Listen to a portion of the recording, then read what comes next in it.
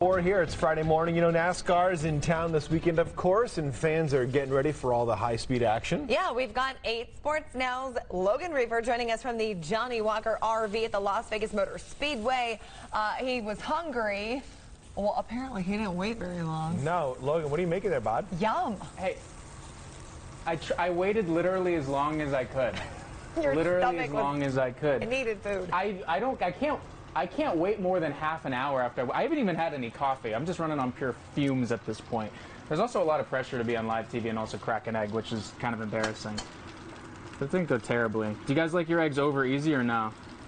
well, yeah, either yeah. way. Kind of moves- Either, moves I go either way, but you know you're supposed to crack it with one one hand there, Logan. You're not supposed to use. But two. I'm not that coordinated is the problem. I like I have to do I have I have a lot of problems just I've broken each of my ankles twice for a grand ti- uh, total of 4 times. So Oh. doing anything with just one is it's not in it's not in my vocabulary That's a here. fancy Uh, but an though. exciting day.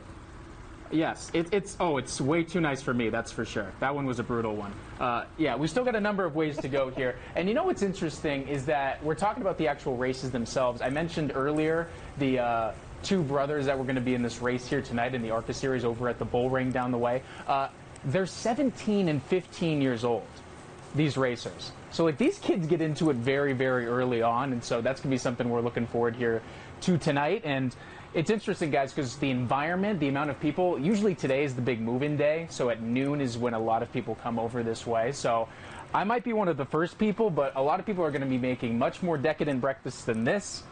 Remotely, there'll probably be like eggs Benedict and stuff like that. People are gonna really show me up here in a little bit. I can feel it. Well, Lo- Logan, the, the NASCAR circus, it is a community. They travel around the country, they go to all the big Yes. races, and it's, we're in the playoffs now for oh, NASCAR, Oh, yeah. of course. Chase Elliott going for the for the title once again, so it's a mm-hmm. big, important weekend besides just the eggs you're making. Oh, well, eggs and and drinks too. Oh, let's These be are honest. important too.